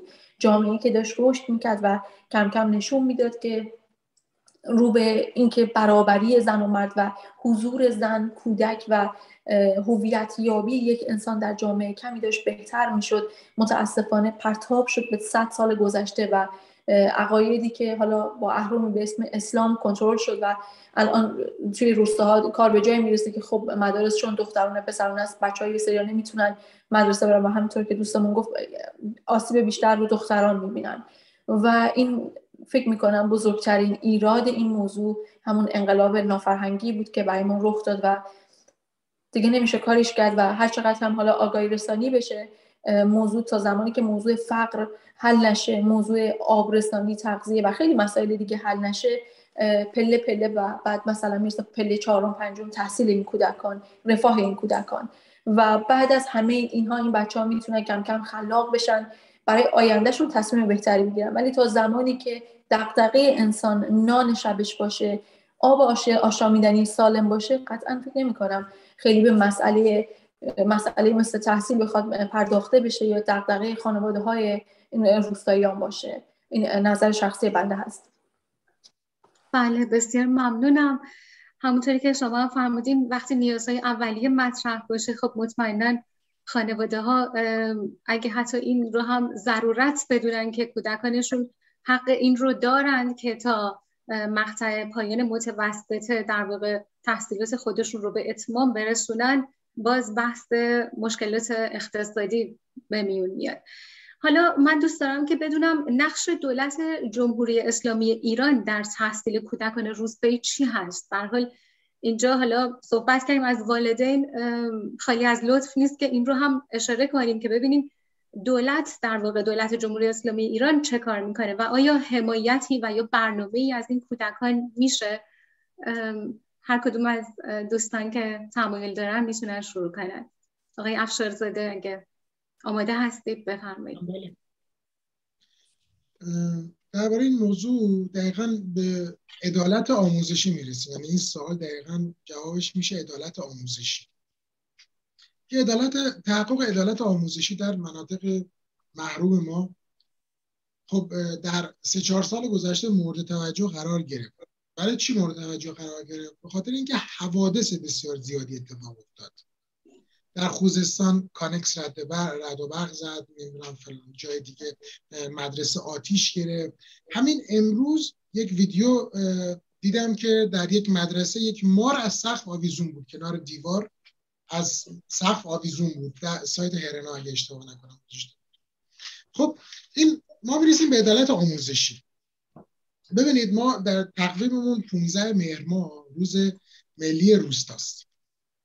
و در این روز در سال گذشته یه سری تصمیمات گرفته شد که عدالت آموزشی در روستاها برقرار بشه. ما می‌دونیم که زندگی مردم در روستاها بسیار سخت و همونجور که دوست عزیزمون گفتن همون عزیزمون گفتن حتی آب آشامیدنی ما دیگه چه چیزی غیر آب آشامیدنی نیاز داریم؟ یعنی یک حکومت چقدر می‌تونه ضعف داشته باشه که بعد از این پنجاه خورده ای سال آب هم نتونسته به اون منطقه برسونه؟ خب حالا ما از همچین حکومتی انتظار داریم که عدالت آموزشی رو برقرار کنه. یعنی برابری اون فردی که در یک شهر در یک یا در یک روستا داره زندگی ما باید هر دو طرف قضیه رو نگاه کنیم. آموزش پرورش در دو, سال گذشته که اخبار این اتفاقات پخش شد یک سری کارها انجام داده و یه دفتر داره دفتر همین توسعه عدالت آموزشی. دفتر توسعه عدالت آموزشی و روستا. که در این میاد میاد یک سری چارت ها و برنامه های خودش رو اعلام می‌کنه که از اون برنامه ها فقط یک سومش انجام شده. نباید بگیم انجام نشده یک سومش انجام شده که ولی موضوع اینه که این یک سوم شاید پنجاه سال دیگه طول بکشه که به عدالت آموزشی بریم. چرا؟ چون عدالت آموزشی باید اون کودک روستایی و اون کودک شهری رو در یک طبقه انجام میده. من بیام به بیان ساده تر بگم. ببینید عدالت آموزشی فراهم کردن فرصت برابر یادگیریه. خب ما می‌دونیم که این برای دانش آموزان در همه مناطق کشوره. ولی ما می‌دونیم که کیفیت با هم برابر نیست. چه در روستا چه در شهر. برای همین در سال گذشته 913 پروژه مدرسه سازی شروع شد. شروع شد. حالا کی تموم بشه؟ دیگه حالا یا تو این دولت تموم باید بشه یا دولت بعدی بیاد سر کار. فقط شروع شد. یعنی اعلام کردن که ما 913 تا پروژه رو شروع کردیم. و از اون طرف طبق آماری که سال گذشته مناطق روستایی اعلام کردن تعداد دانش آموزان دختر دو نیم برابر شده. خب این دو نیم برابر یعنی چی؟ یعنی تعداد دخترانی که الان می‌تونن برن وارد مدرسه بشن. این یه آمار خیلی ترسناک ببینید تعداد دخترانی که می‌تونن وارد مدرسه بشن دو نیم برابر شده ولی امکاناتی که اینا بخوان درس بخونن افزایش پیدا نکرد و الان قرار چه اتفاقی برای این دخترها بیفته؟ قرار ازدواج کنن قرار برن کار بکنن قرار تحمیل بشن. چون روستا واقعا تعارف نداره. فرزند تحمیلی رو قبول نمی‌کنه.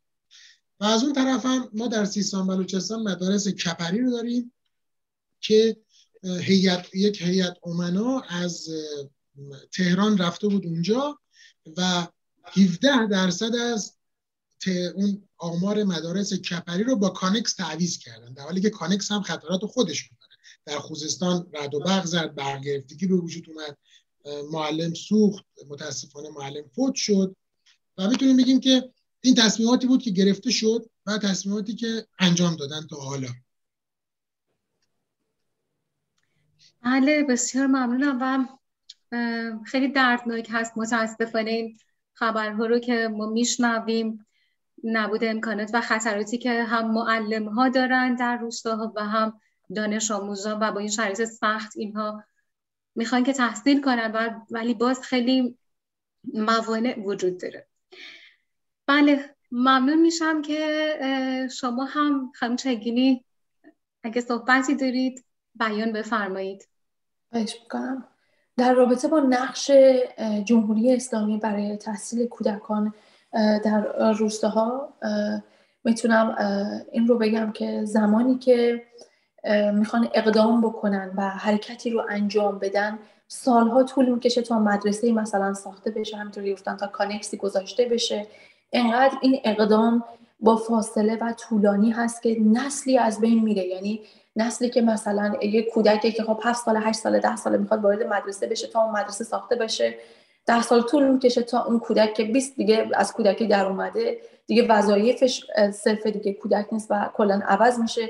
کلی از نسل های ما اشتباها آرایش و اصلاح میشن و انگار جهش پیدا می‌کنن وارد جامعه دیگه میشن. متاسفانه اینها از همون تعهد به نتیجه بود که از ابتدای انقلاب اتفاق افتاد و در قانون اساسی ذکر نشد.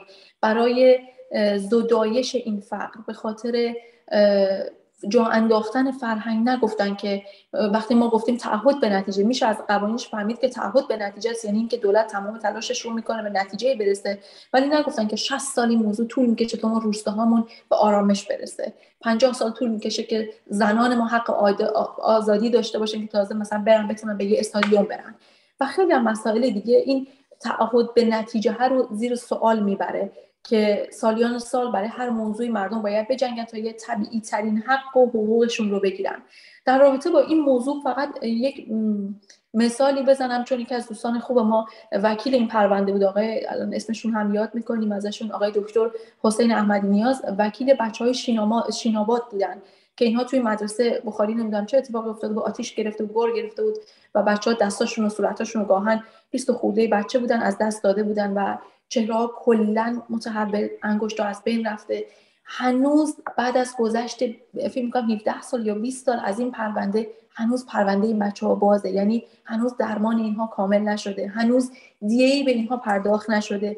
یعنی این موضوع که اینها چون دختر هستن و دیه به دختر یک دوم تعلق می‌گیره هنوز دارن اینا با این موضوع دست و پنجه نرم می‌کنن. من فکر نمی کنم جمهوری اسلامی برنامه درستی برای این موضوع داشته باشه. وقتی اومدن سند 23 زیر سوال بردن به دلیل اینکه توی سند 23 این مجموعه کامل از آموزش ها و سنتزی از آموزش هایی که کارشناسانی که از و سر دنیا جمع شدن و این رو تدوین کردن در سازمان ملل این رو نپذیرفتن و اون رو ضد فرهنگی یا غرب زدگی عنوان کردن برای اینکه اهرامی برای کنترل اینها نباشه. برای اینکه فرزندانی که تربیت می‌کنن اگه آگاه باشن قطعا مقابل این بی فرهنگی و نافرهنگی و این عدم عدالت نیستن. برای همین خدمتتون عرض کردم زمانی که انتخاباتی می‌خواد بشه یا کسی می‌خواد یه سمتی بگیره اصطلاحا میرن یه روبانی به چی می‌کنن یک چیزی رو استارت می‌کنن ولی این تعهد به نتیجه است که انجام بشه اتفاق بیفته. مثل مثلا مسکن مهر که برای یک سری افراد بی بزاعت اومدن این خون خونه ها رو ساختن ولی اومدن چیکار کردن؟ اولا که خیلی خارج از شهر بود دوما بسیار استحکام کم. و اتفاقاتی که بعدش افتاد خرابیایی که داشتن. یعنی انقدر طول کشید افتضاح بود که جواب جواب عکس بود. در رابطه با تحصیل هم همینطوره.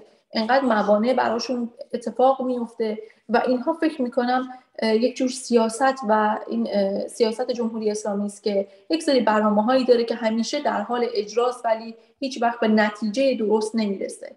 و اینها می‌دونن که اگه مدرسه قراره در داخل روستایی ساخته بشه خب کانکس انگار که زلزله اومده می‌خوان کانکسی بذارن. خب این زلزله تموم شد. اینها باید تعویض بشه. مثل همون زلزله که تو بم رخ داد هنوز خیلی هستن که توی کانکس زندگی می‌کنن. مدارسی که هنوز اونجا داخل کانکسه و کی قراره که اینها تبدیل بشه تعهد به نتیجهش مشخص است و چون قدرتشون پایدار میشه. انسان آگاه ملت آگاه دولت آگاه آگاه می‌خواد و قطعا دولت رو زیر سوال می‌بره. و فکر می‌کنم به صرفشونه که همینجوری آهسته آهسته و تعهد به وسیله پیش برن. یعنی ما اقدام کردیم حالا تا به نتیجه برسیم زمان می‌بره. این نظر شخصی من هست. بله بسیار ممنونم. کاملا درست میفرمایید.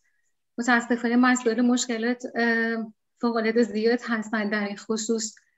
و اما آخرین سوالم از شما مهمانان ارجمند این هستش که با توجه به آمار فاجعه بار ترک تحصیل کودکان از آغاز کرونا تا به امروز و با توجه به اینکه بعضی از دانش آموزان به دلیل دسترسی نداشتن به آموزش مجازی که حالا شامل نداشتن لپتاپ یا اینترنت همونطور که اشاره کردیم هست از چرخه تحصیل باز موندن و چه عواقب اجتماعی در واقع در بر داره این در آینده. بفرمایید آقای افشارزاده میشنویم شما این حکومت خیلی کارهای اشتباهی رو انجام داده. شاید از معدود کارهایش که به نفع مردم بوده نهزت سواد آموزی که در سال 90 آماری که اعلام شد تعداد افراد بی سواد در ایران زیر 5 درصد بود. کسایی که با نهضت سواد آموزی آموزش دیدن خب این می‌تونه خیلی آمار خوب و مثبتی باشه برای جامعه ایران. ولی با توجه به شرایط کرونا ما اخباری داریم از افرادی که ترک تحصیل کردن. به این افراد میگیم چی؟ لازم التعلیم. یعنی کودکان و نوجوانان ابتدایی و راهنمایی این یک واقعیت فرهنگی که در ایران الان اتفاق افتاده. یک واقعیت هم فرهنگی هم اجتماعی و بسیار نگران کننده است. و حکایت از این داره که این علت هایی که این افراد که دیگه نمی‌تونن و نمی‌خوان تحصیل کنن و درس بخونن می‌تونه بسیار آسیب زننده باشه. چرا؟ چون ترک تاثیر این افراد یک زنگ خطر برای نسل بعد و اجتماع ما بعد از اینکه این جلسه و این آمارها رو گرفتیم متوجه شدیم که یه سوال خیلی مهم می‌تونیم الان از خودمون بپرسیم اینه که ترک تحصیل در این زمینه در این زمونه با معلفه هایی که وجود داره می‌تونه نگران کننده باشه یا نه؟ خب ما میگیم بله می‌تونه نگران کننده باشه. ولی باید بدونیم که در یک دهه گذشته اون مقایسه ای که با نرخ پوشش تحصیلی و نرخ سوادآموزی انجام شده در بزرگسالان بسیار نگران کننده است. و این یک واقعیته. که در یک سال و نیم اخیر 20 تا 30 درصد از کسایی که لازم تعلیم بودن ترک تحصیل کردن. خب این افراد ترک تحصیلشون چرا زنگ خطره برای اجتماع؟ چون این افراد قرار در بدنی اجتماع در جاهای مختلف قرار بگیرن. اجتماع ما یک پازله. هر کدوم از ما یک بخشی از این پازل رو پر می‌کنیم خب حالا حساب کن یک نفر که توانایی رو داره که به مقام خوبی برسه و یک فرد مفید در جامعه خودش باشه به خاطر مشکلاتش میاد ترک تحصیل. و این میشه سرآغاز مشکلات بعدی برای جامعه. چرا؟ چون اون نفر بعدی این پازل که خالی نمیمونه یک نفر دیگه باید پرش کنه. ولی ما نمی‌دونیم این کسی که داره پرش می‌کنه آیا توانایی و لیاقتش رو داره یا نه. یعنی اون رقابت یک رقابت سالم از بین میره. و این شکلگیری ناخواسته ایه که می‌تونه این کودکانی که در که تحصیل نمی‌کنن تبدیل به چی بشن؟ تبدیل به کودکان کار بشن. یکی از تلخترین حالات یک کودکی که درس می‌کنه میشه کودک کار. بعدیش میشه افزایش آسیب های اجتماعی. تو محیط مدرسه معلم ها هستن دانش آموز هست کتاب هست هیچ چیزی وجود نداره که به کودک بتونه آسیب بزنه. ولی ما می‌دونیم که وقتی که کودک در اون محیط قرار نگرفته می‌تونه وارد جامعه بشه و آسیب های اجتماعی رو هم خودش دریافت کنه هم به دیگران بزنه. مثلا ممکنه در دام اعتیاد بیفته. ممکنه با دوستای دست به سرقت بزنه. و بدترین اتفاقی که می‌تونه بیفته از نظر من اینه که ما یک نسل ناتوان رو داشته باشیم. ببینید ما الان یه شکاف طبقاتی دیگه نداریم دیگه. اصلا دیگه کلا دو تایی شکاف وجود نداره. ولی اون کسایی که در حال حاضر دارن ترک تحصیل کردن در آینده می‌تونن یک نسل ناتوان رو داشته باشن.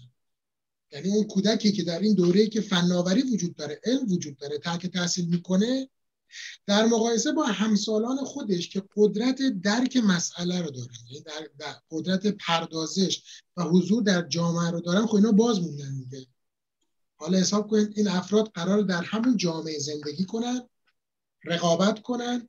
خب چه فاصله فرهنگی و اجتماعی به وجود میاد؟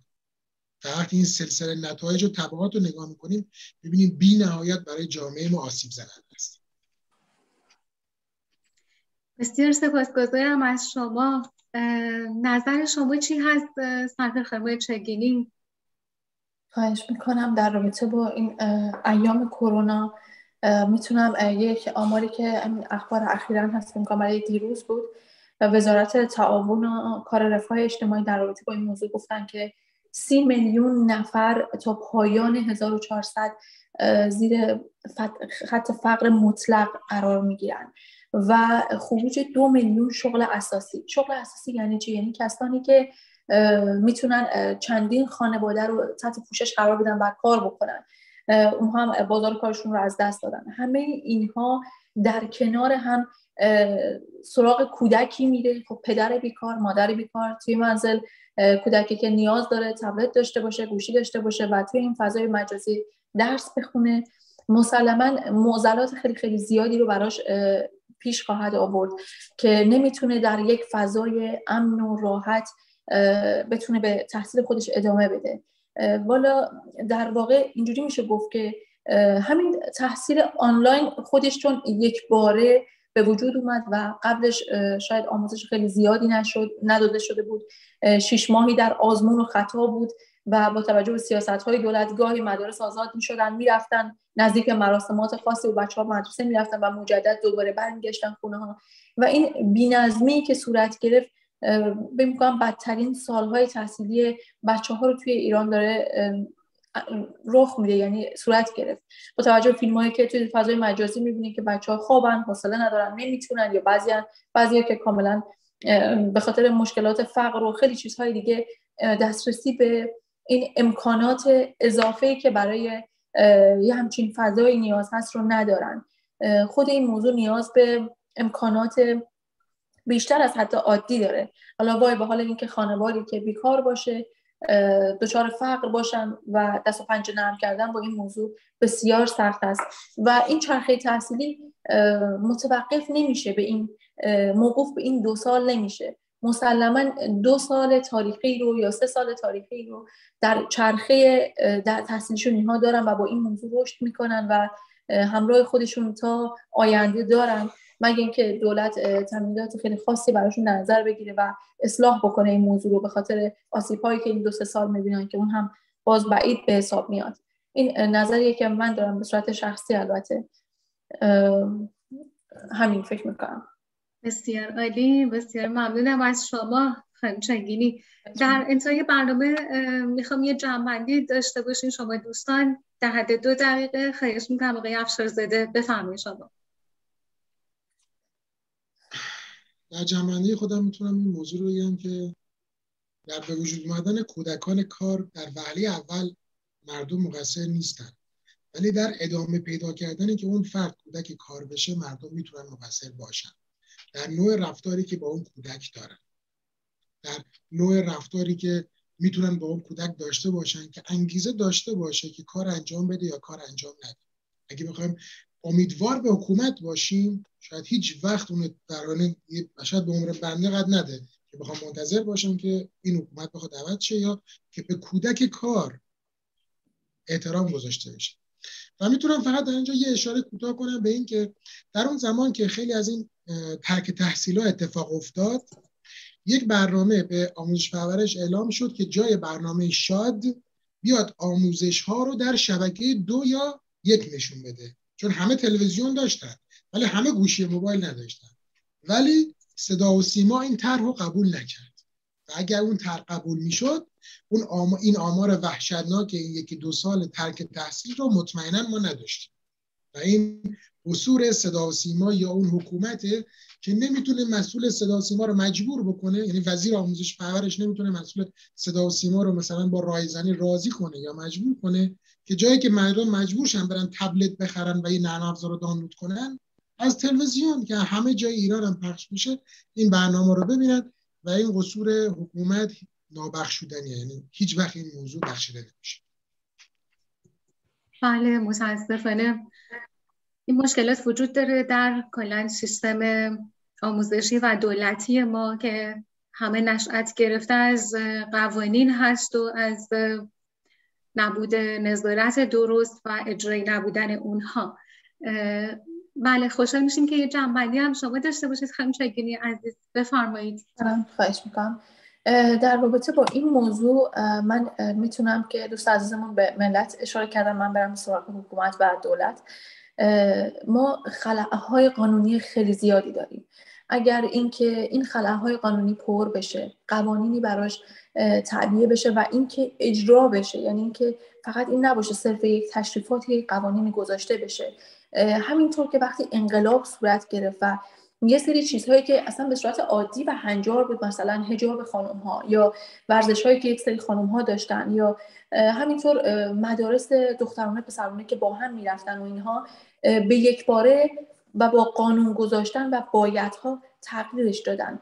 اگه این موضوع رو در رابطه با جهان بعد از انقلابی که توی ایران رخ داد انجام بدن و این خلعهای قانونی رو پر بکنن در رابطه با کودک کار تحصیلات کودکان یا حتی کودکان روستایی یا خیلی مسائل دیگه کنوانسیونایی که توش وارد میشن. این خلنهای قانونی رو پر بکنن اینقدر زره نپوشن و اینقدر سپر یا شمشیر رو از رو نبندن که با سندهایی مثلا مثل 23 آموزش هایی که سازمان ملل در رابطه با برنامه آینده در نظر داره. اینقدر مخالفت نکنن و کمی نرمش داشته باشن و مردم رو گروگان افکار خودشون نگیرن. فکر کنم خیلی هم مسائل حل میشه. ولی مشکل ما اینه که برای نگه داشتن حکومت و قدرت خودشون و در اونچه که شعارهای ابتداییشون دادن و هی هر روز داره بد و بد و بدتر میشه در نگه داشتن اونها از احرام هایی مثلا مثل عرف و دین و اسلام و اعتقادات مردم استفاده می‌کنن و چیزی که تمامی و پایانی نداره جهل بشریه و متاسفانه بهش دامن می‌زنن. این نظر کلی من هستش در رابطه با این موضوع. بله بسیار ممنونم از شما دو مهمان عزیزمون و ممنون از بینندگان که تا این لحظه ما رو دیدند و شنیدند. من هم دوست دارم که با یک متن برنامه امروز رو به پایان برسونم. تابلو نقاش رو ثروتمند کرد. شعر شاعر به چندین زبان ترجمه شد. کارگردان جایزه ها رو درو کرد و هنوز سر همان چهار را واکس می‌زند. کودکی که بهترین سوژه شد. ممنونم از شما. تا برنامه دیگر خدا نگهدار. ممنونم. خدا نگهدار.